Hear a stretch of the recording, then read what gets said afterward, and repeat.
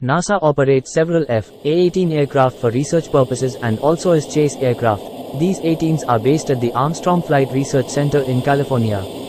NASA received three two-seat F-A-18B aircraft in 2018. On the 21st of September 2012, two NASA 18s escorted a NASA Boeing 747 shuttle carrier aircraft carrying the Space Shuttle Endeavour over portions of California to Los Angeles International Airport before being delivered to the California Science Center Museum in Los Angeles. On the 8th of December 2008, an F-A-18D crashed in a populated area of San Diego, while on approach to Marine Corps Air Station Miramar, killing four people on the ground. The pilot ejected safely, there was no weapon systems officer on board the aircraft.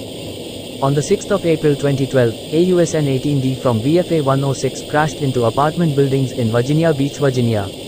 Both crew members ejected. Seven people were injured including the two pilots, who were taken to the hospital.